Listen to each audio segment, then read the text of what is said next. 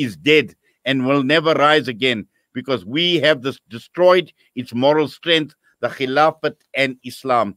Now, this was a statement that was made uh, well over a hundred years ago. And since then, what have we seen? We've seen the children of the Ummah being starved to death by people right across the entire world, including our very own rulers.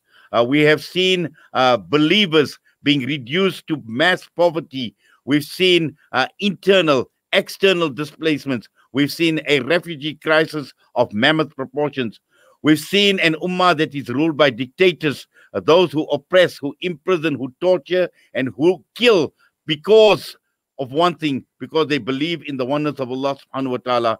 And with all of that, it has left the Muslim ummah leaderless without any direction. And while the ummah has been slaughtered, there has been no guardian, there has been no khalif to protect its blood, nor provide any dignity to the oppressed. And we joined this morning talking 100 years since the fall of the Khilafah, 28th of Rajab today, 1442. We joined on the line from the UK by Taji Mustafa. Taji, Assalamu alaikum wa rahmatullahi wa barakatuh. Wa alaikum assalam wa rahmatullahi wa barakatuh. Yes, uh, you know, a hundred years later, Brother Taji, and uh, you know, I've just uh, summarized it in my introduction into as to where we are as a Muslim Ummah, and one cannot forget one cannot forget that this was in the last hundred years. This must uh, this was the most tragic event that had occurred for the Muslim Ummah. Absolutely. Um, Bismillah. Uh, I, I think the fact that we're discussing this today is actually a, a great sign of hope and, and, a great mercy from Allah subhanahu wa ta'ala. That a hundred years ago, my parents, uh, your parents, brothers, uh, sisters who are listening did not live in the Khilafah. They, they, existed after 1924, 1342 Hijri. Um, but for nations, and we are a nation, we're an ummah. In هذه أمتكم أمة واحدة. We're one ummah. Anniversaries are important. Events are important. We're talking about Isra Mi'raj this month of Rajab. We're talking about uh, the destruction of the Khilafah. We'll be talking soon about Ramadan. These dates are not just dates for us. Isra Miraj reminds us of the Isra Miraj of our beloved Prophet sallallahu alaihi wasallam. The Bayt al-Maqdis, he ascended to the heavens. So Allah subhanahu wa ta'ala, all those things remind us that Salah was sent down. So different days and events in the Islamic calendar are crucial to remember so that we take the lessons from them, we reaffirm our commitment to worship of Allah subhanahu wa ta'ala. And as you said, what happened on that day in uh, the, the 3rd of March 1924, 1342 Hijri, was cutting of what was set in place by our beloved, beloved Prophet Muhammad sallallahu alayhi wa sallam. He went to Medina and established an Islamic state, a new society, buying, selling, trading, morals, values from the Quran and the Sunnah implemented as an example for mankind. And that continued for over 1,300 years. This ummah had dignity. We were looked upon as the people who had solutions, not because we're clever people as Muslims, but because we are the ummah that has revelation from Allah subhanahu wa ta'ala. We're the ones who say, وَمَا خَلَقْتُ الْجِنَّ وَالْإِنسَ إِلَّا لِيَعْبُدُونَ This life, everything we dedicate and worship you. So that society which existed was now abolished. And the consequences of that for the individual Muslim, for the family of the Muslim, and for the ummah of Islam has been catastrophic. Just before you put me on um, to your show, I was listening to the advert. The advert just before the show, mashallah, some brothers, some sisters, some organizations are trying to do relief work in the Muslim world. If we think of that for a moment, Syria, Yemen, Palestine, Somalia, is it that this ummah lacks wealth? We lack wealth? In London, there are there are Arab, so-called Arab rulers who are buying footballs, football stadium, football clubs in the UK, buying paintings for hundreds of millions of pounds. We don't lack wealth, we don't lack resources, we lack that there is a guardian, a Khalifa, who directed by the Quran and Sunnah to take this wealth from those who are there from the places and to distribute it. So the cutting of the revelation, the implementation of the revelation has been catastrophic. But alhamdulillah, alhamdulillah, alhamdulillah, Rabbil Alameen, we're talking about it today. We're reminding ourselves and our children to say, look forward and how do we work to reestablish that state which implement Islam on this earth.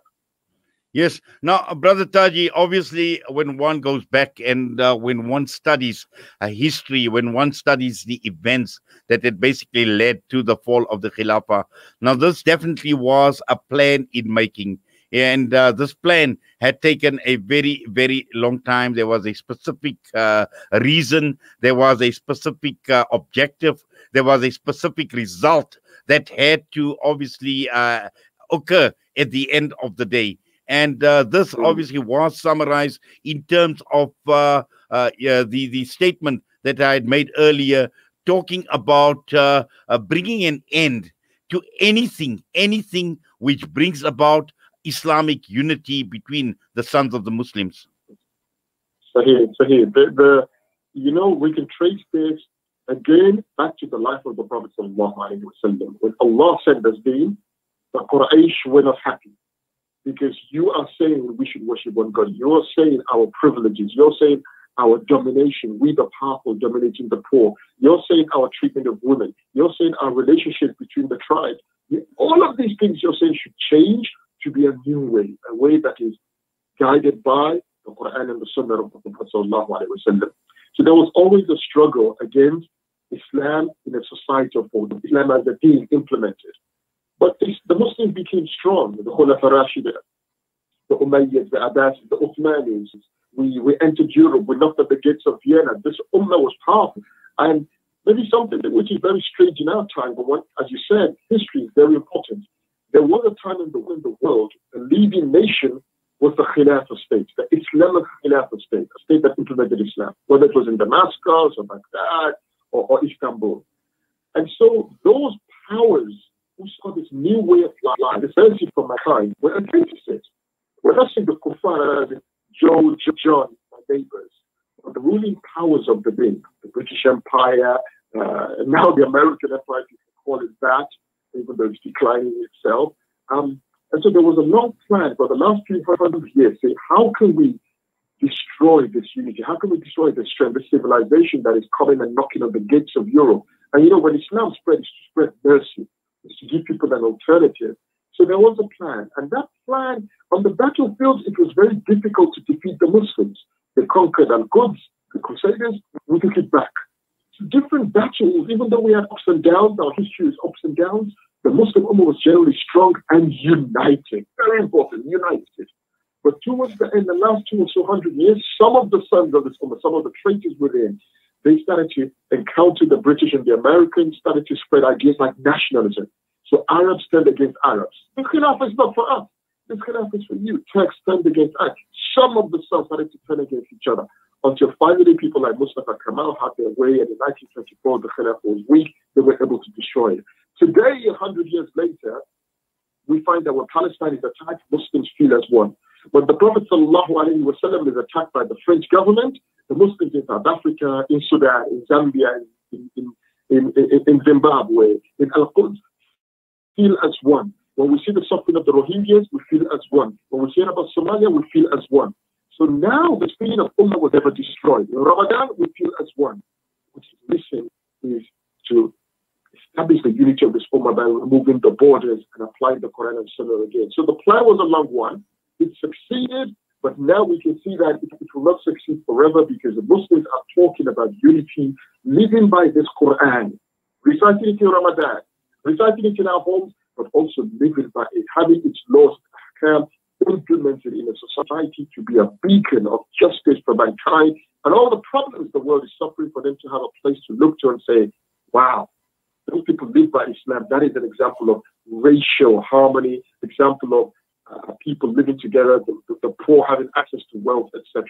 So it was a plan, but, but really Allah is the best of planners, and there will be those who turn that plan upside down and re-establish the Khilafah again, inshallah. Inshallah, Brother Taji, we're just going to go for a quick break. Uh, uh, we'll be back with you.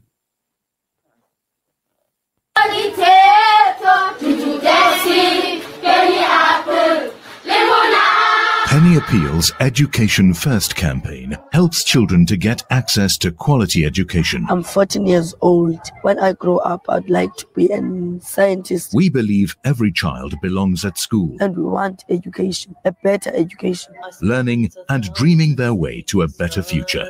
With your help, we can provide classrooms, desks, stationery packs, and school shoes. Help make these dreams a reality. Visit www.pennyappeal.org.za or call 031 1100 573. Penny Appeal. Small change, big difference.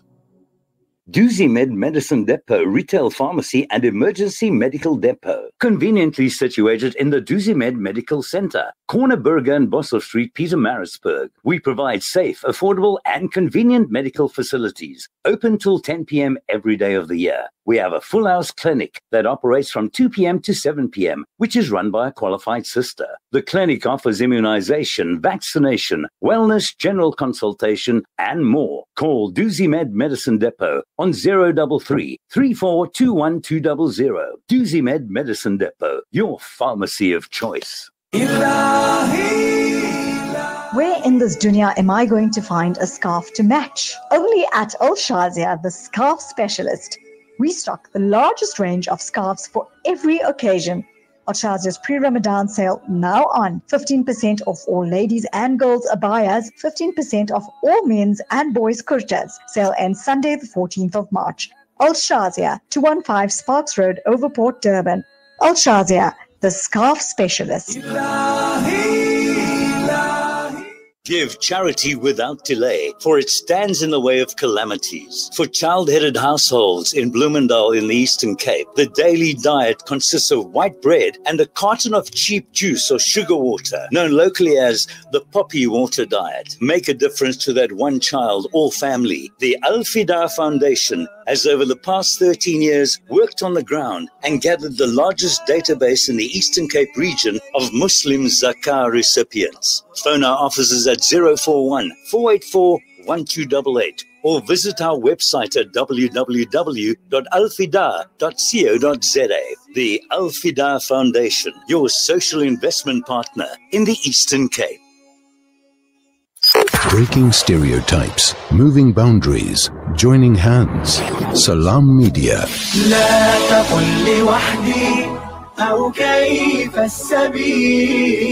Humanity sets the agenda. Time is just gone 8.35 a.m. on this Juma morning and it is the 28th of Rajab uh, and we are talking about uh, the fall of the Khilafah, remembering the uh, fall of the Khilafah. But uh, is it about simple uh, commemoration?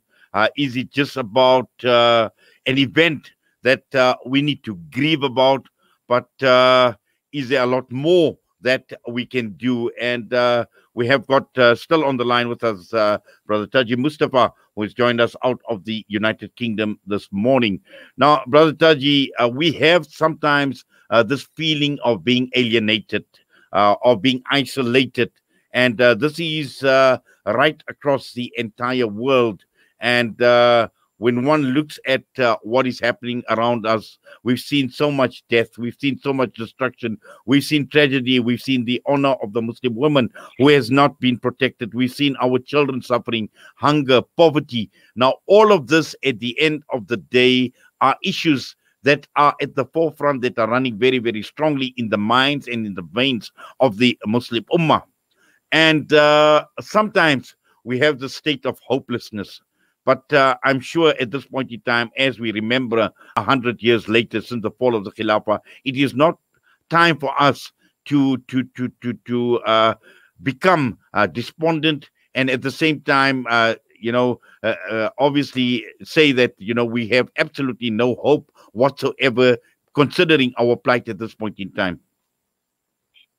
Alhamdulillah, the, the very important point you mentioned. Um, and the question then is, how does Allah subhanahu wa ta'ala direct, instruct, guide us to deal with such a situation? And you, you look at one side, so many issues facing the ummah.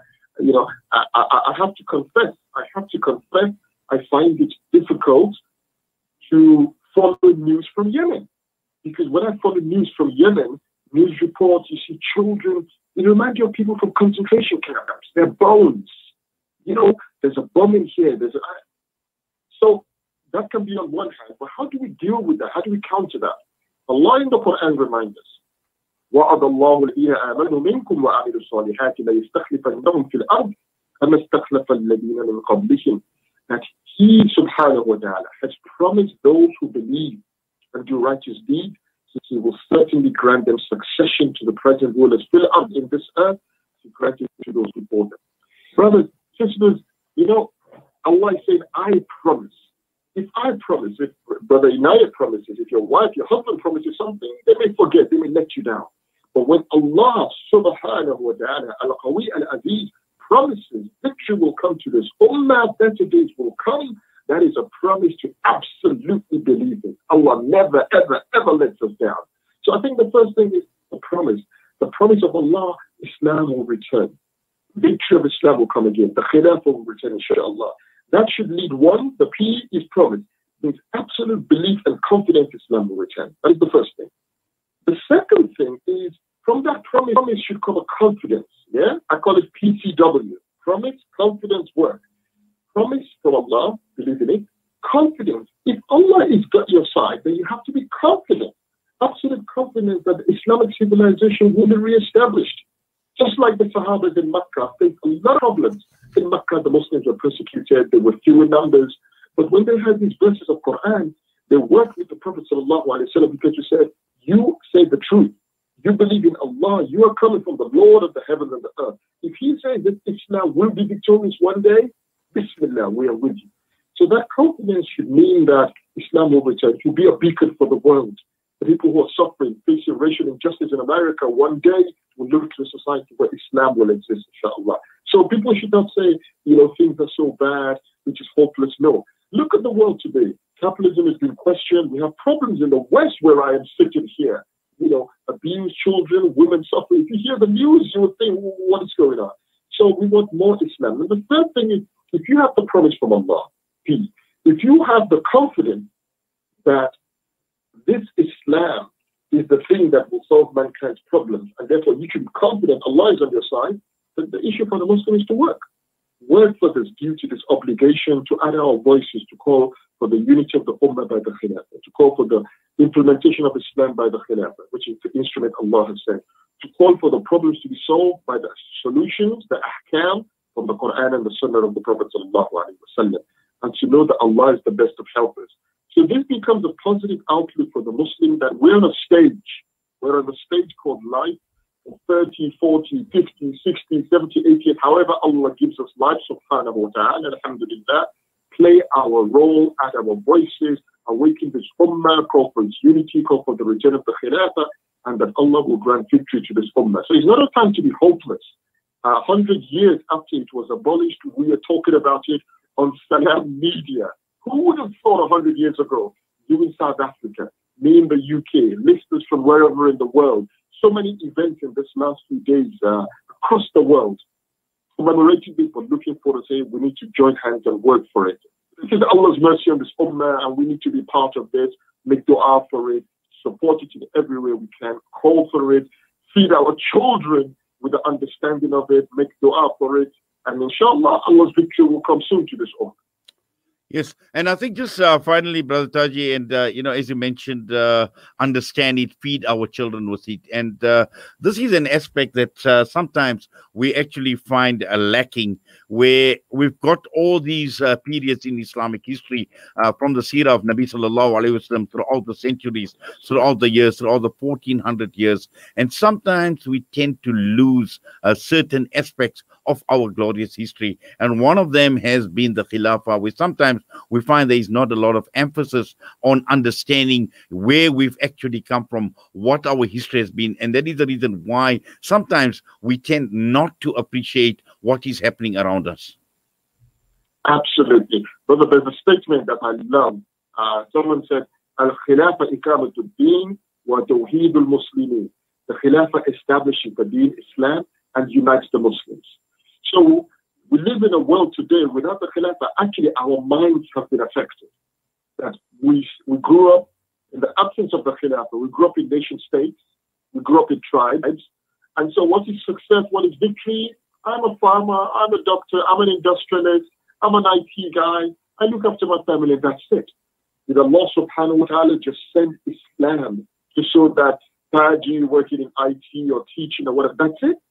It's Islam came, وَمَا أَرْسَلْنَاكَ إِلَّا رَحْمَةً لِلْعَالَمِينَ It gave the Sahabas a vision of the world, how to change the world, how to look after human beings. This is our responsibility as an ummah.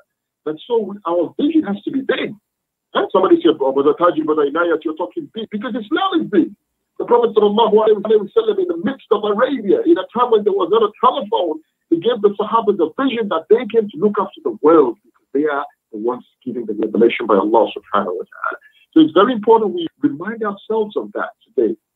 That the Muslim Ummah has a responsibility to mankind. Look at the problems in Africa. Look at the problems that your adverts on the radio are tackling. Muslims are trying their best. Alhamdulillah, may Allah reward them. Where is the role of Islam? The role of Islam is that it has a state which implements the deen. That state represents Islam and this ummah, and with its resources and the revelation from Allah, it helps to look after the whole of mankind. So it's very important we have that vision. It's very important that we think on the level Islam said us to think. We seek the pleasure of Allah subhanahu wa ta'ala. We play our role.